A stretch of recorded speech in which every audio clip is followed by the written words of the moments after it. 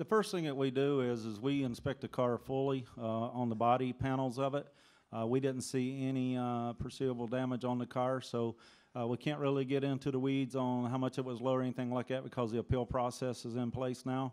Uh, they have till Tuesday, or excuse me, Monday till twelve o'clock to appeal, uh, but we did inspect the car.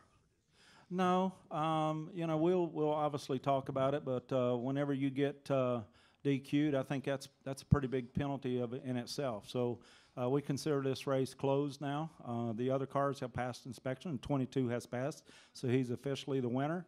Um, but the, uh, once, uh, we DQ a car, we don't go back and look at other penalties. That, that's a pretty big penalty right there.